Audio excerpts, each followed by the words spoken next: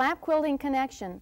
We've had a chance to do some quilting and now it's time to put our blocks together. The moment of truth, we sometimes call it. You're going to be really encouraged when you see how fast your blocks go as far as quilting because you can take them with you anywhere. I find I take them on a trip with me, doctor's office, and uh, always brings up conversation when you have them with you anyway. It, uh, it's all going to go back to whether or not your templates were placed on your fabric correctly, did you cut out your borders the right size, and did you use your 12-inch block, your pattern on the back of all your blocks. This is all going to come together when we put our blocks together to form our whole quilt. Whether or not you're doing, as Mary Boyce has done, a block-to-block -block assembly with mitered borders or without the borders, we need to discuss this. Mary has done a lovely job with a King's X pattern. She has alternated the basic King's X and the God's Eye design, and she does excellent piecing and lovely quilting. I think you can see this beautiful connection she gets using her oval and doing her double row of quilting at each intersection. It's just lovely. Helen Gage has done a nice job with a block-to-block -block assembly, and this is what we want to talk about also. Helen had a fashion background, and I can see that that background in this quilt that she's done, a lovely selection, almost a mellow selection of all of her kind of browns and um, very, very nice selection that she's done here. Let's look at a large quilt. This is a variation of the Jacob's Ladder, but done for a king-size quilt and also using some of the House on the Hill pattern. And all of this has to be grafted out, more or less, so you have a plan. I've had some help from my friends in getting this finished as far as the quilting goes. I had a problem at the corners because this quilt will cover both the mattress and the box springs. I went ahead at each corner and made half a block on the diagonal and that way there won't be such an excess to trip over when you walk around the bed. But this the core of this quilt has been put together and now we're going to talk about block to block assembly at the sewing machine. Before we actually put some blocks together, I want to give you one little tip, which is, means backtracking just a bit.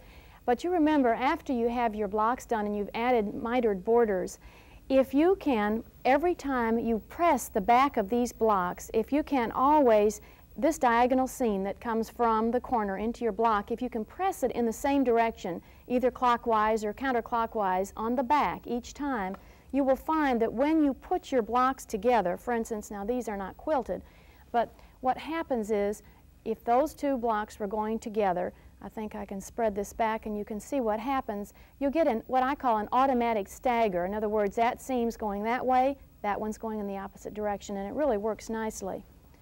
Another point to, of course, always remember in lap quilting is that you have to leave always at least a half an inch to an inch free of quilting around the outside of your blocks.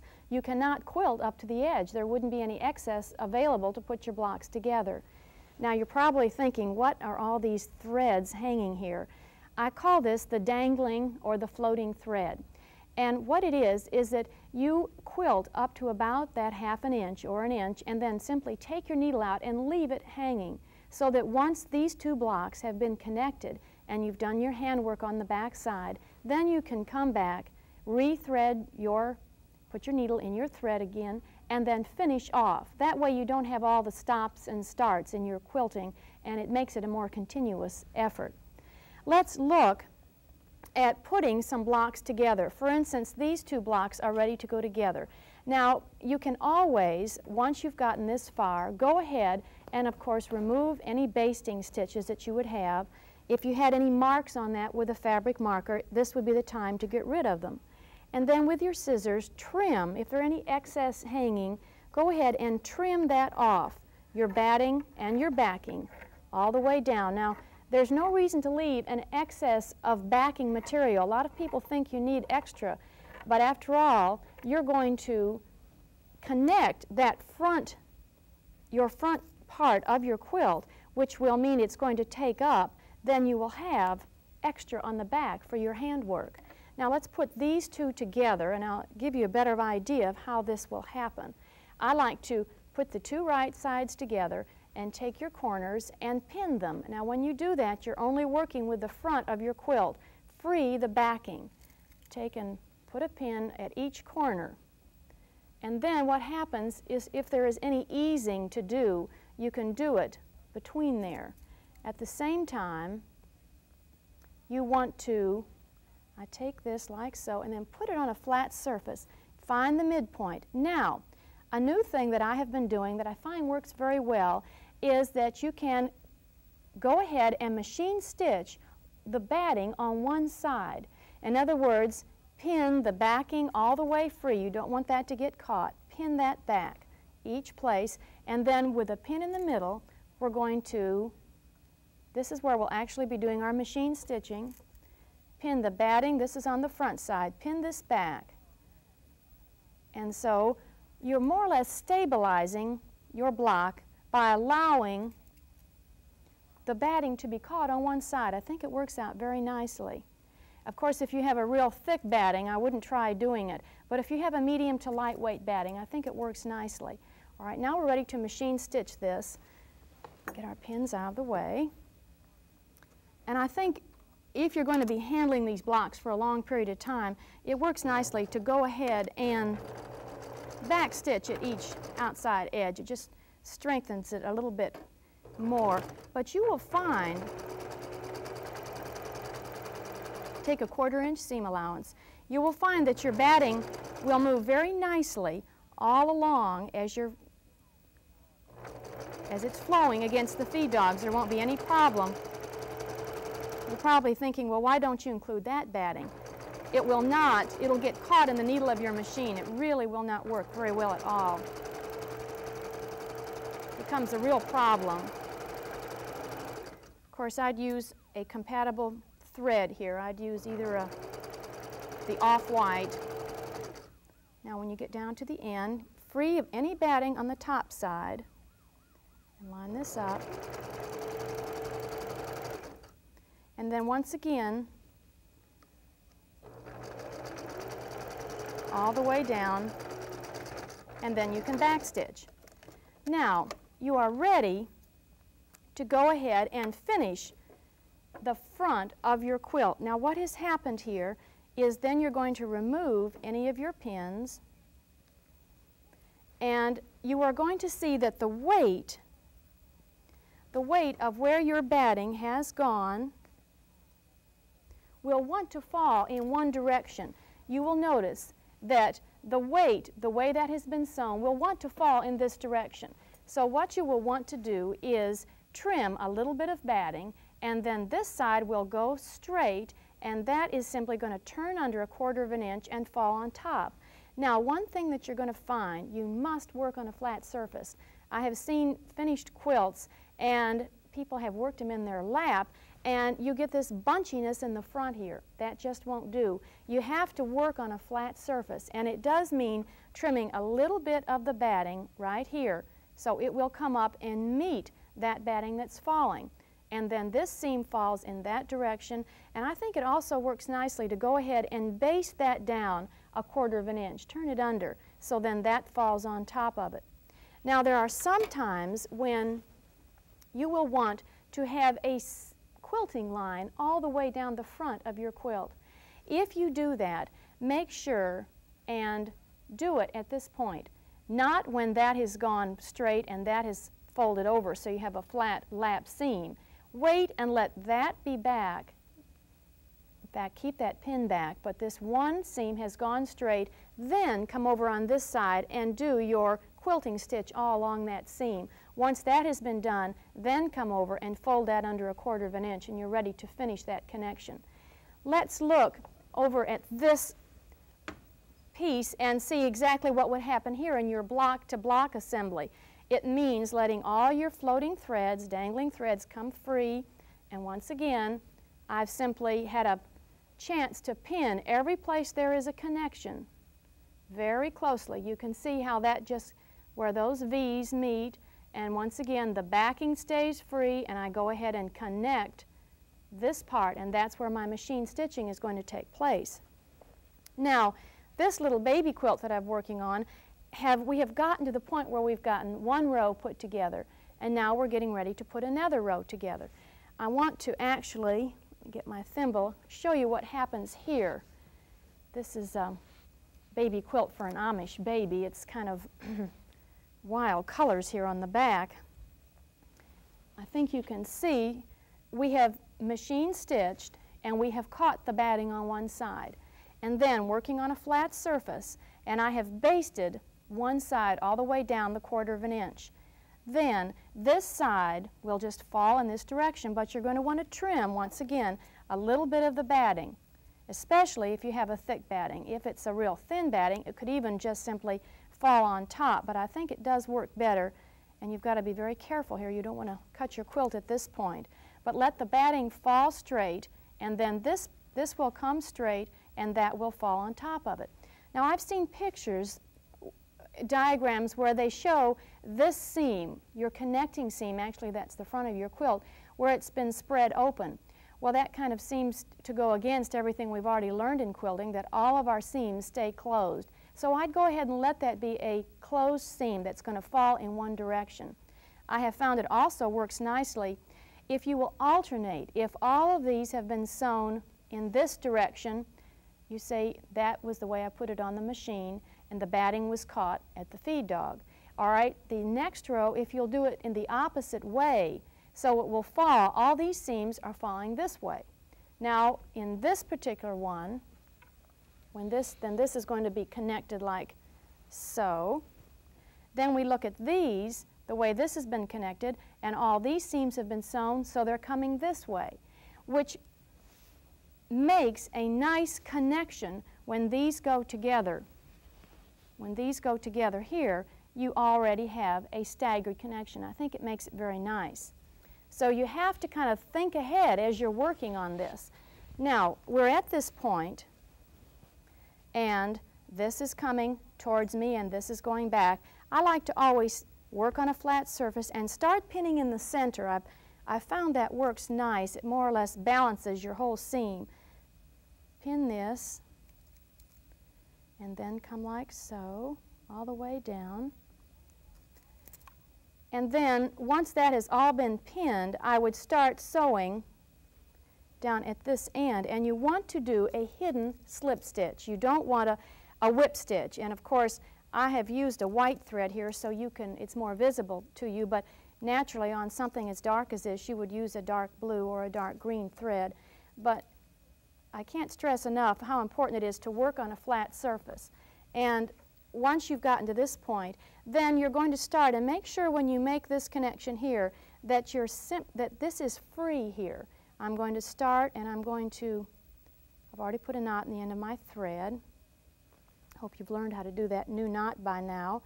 And I'm going to go ahead and do a slip stitch. I'm going to simply show you this. I want to make sure that here I am not going through to the front of my quilt.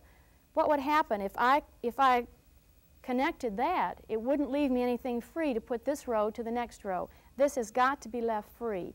And then when I get a little further into the block, I'd say maybe, oh, maybe an inch or two inches, then you can put your hand underneath here and go ahead and do a, and do catch some of the batting. It won't hurt. But every once in a while, check, make sure you haven't gone through to the front side of your quilt. That would be a, a disaster, especially if you had a, a dark thread like this. So, so keep doing this and take, I would say, very small, tiny, pull your thread nice and tight. You want, after all, this is where the strength is going to be. You need to connect this. This is your finishing technique here. One problem that I have noticed sometimes is that in quilts such as this, where you have a design on your border, after you have your blocks put together, there will be kind of an elevated area here where the mitered connection has been. You need to come back and go ahead and do a quilting stitch right down here. It will help to flatten and pull that together. After all, you've, you've taken up this area for quilting, and now you need to fill more in at the mitered connections. The grandmother's fan takes on an entirely different look when it's done in a block-to-block -block arrangement B. Green has completed all of her blocks and now she's got it more or less drafted out on paper where she wants to go from here. And her next step, let me kind of give you a good view of, of how pretty that's going to look when she starts putting this together. She has to decide, does she want to work Actually, it'll be four blocks across and seven down. Does she want to put them together horizontally, that is, four at a time and then connect, or would she like to put seven together and get one row finished and then put another one? She'll have to decide that. It's sometimes you might have a master plan and then you start turning the blocks and you might just change everything in midstream and decide you want a whole nother arrangement in this. Wouldn't that be kind of interesting? That, um, that takes on a whole, a whole new, a whole new uh, idea right here.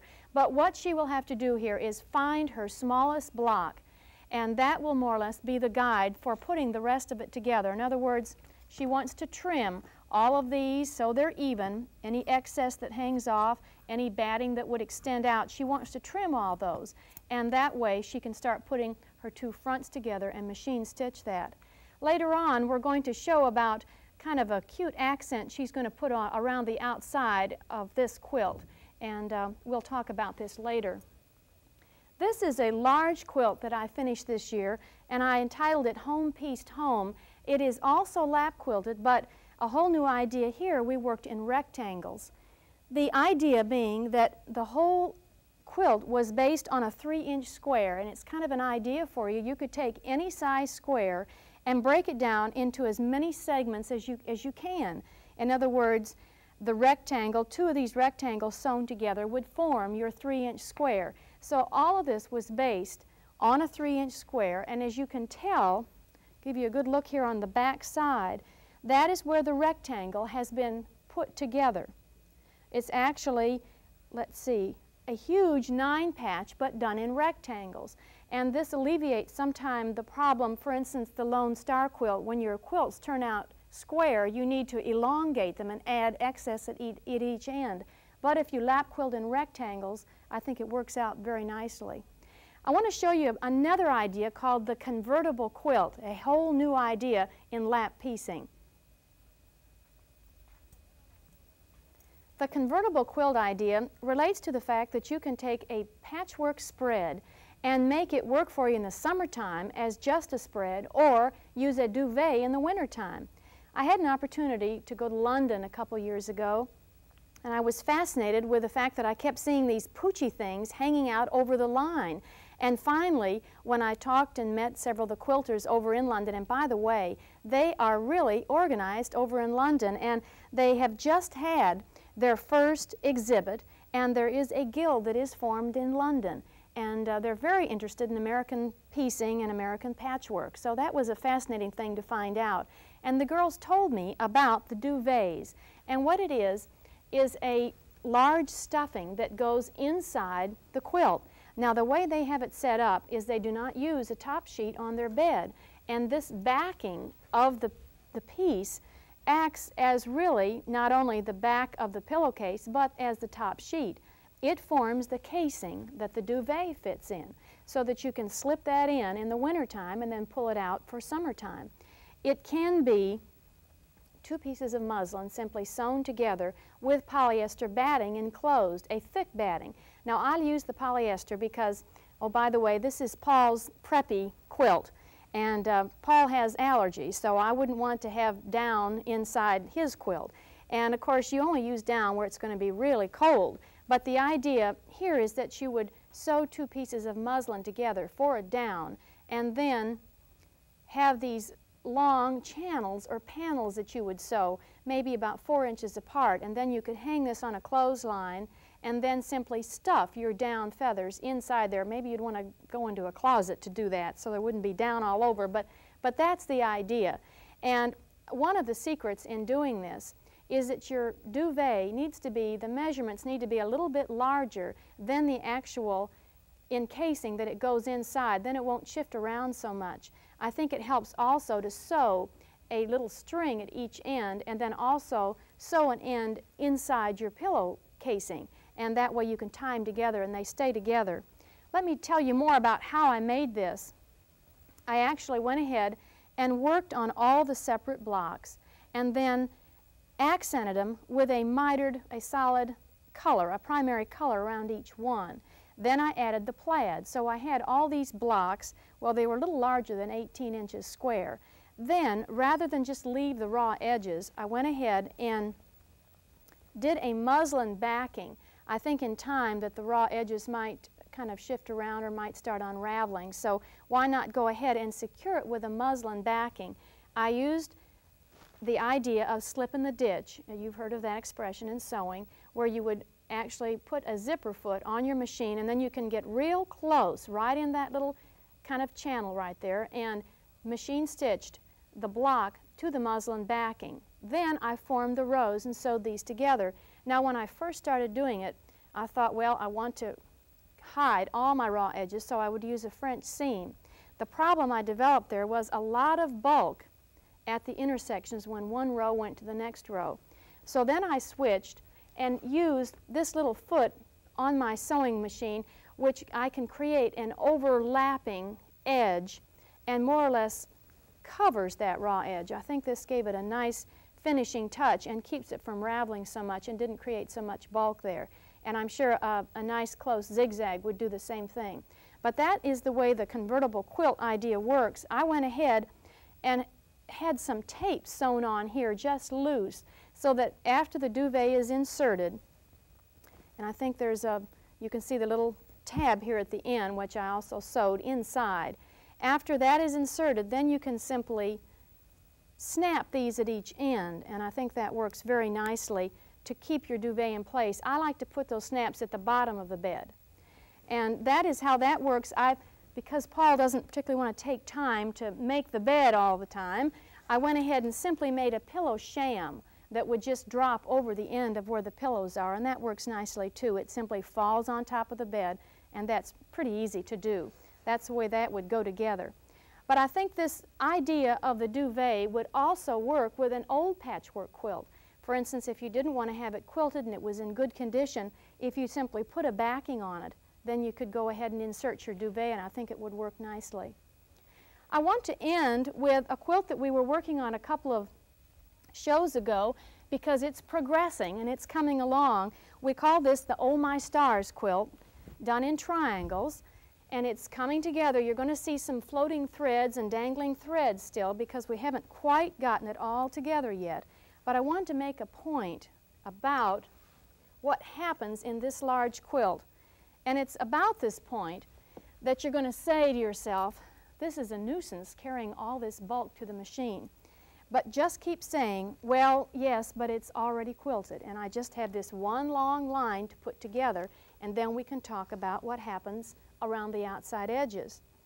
Now, we are at this point, and the moment of truth here is when we line up our stars here and here, are they going to meet? Are they going to be right on target? And it looks like it's, it's going to work out very nicely. There is some bulk that's created here where our seams have come together. And what I would suggest doing here would be not to sew down all that excess seam allowance on the back side. I'll make sure and use a navy blue thread to sew this all along here. And when I come up to that seam, stop and back stitch. So that really you have almost a floating seam at the back side. I think that'll work nicely. But always move these threads way back and then of course this is going to flip all the way over here and I think I wouldn't be satisfied just to pin this. I think I'd go ahead and baste it too because quite often just pinning can even shift before you get to the sewing machine. But pull all these threads down so they're out of the way and then you want to make sure also that from that raw edge into where that V starts that you've got a good full quarter of an inch. And then these two will go together.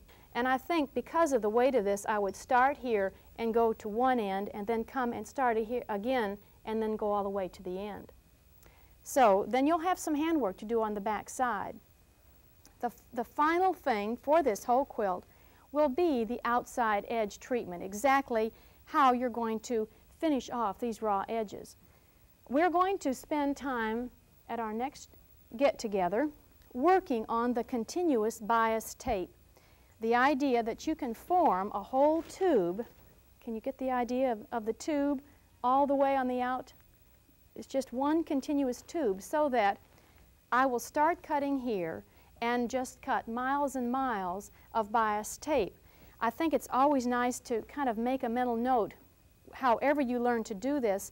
For instance, if you start with a 24 inch square, then make a note and measure the amount of bias tape that you get at the end so you'll always know 24 inch square equals two yards of continuous bias tape. That's what we're going to learn next time, exactly how to do that. Plus, other ideas for finishing your quilt, maybe ruffles around the outside. Or perhaps you finished and your quilt isn't quite large enough. You could add a band all the way around the outside. Then there are prairie points and uh, scallops. The quilt that the grandmother's fan is going to have a nice treatment. Rather than points, I think of something softer here in this idea. So I want to show you how to do a tiny kind of a loose, almost a scallop edging all the way around the outside of this quilt. We will look forward to seeing you next time. Georgia Bonesteel is the author of the book Lap Quilting with Georgia Bonesteel, based on this television series.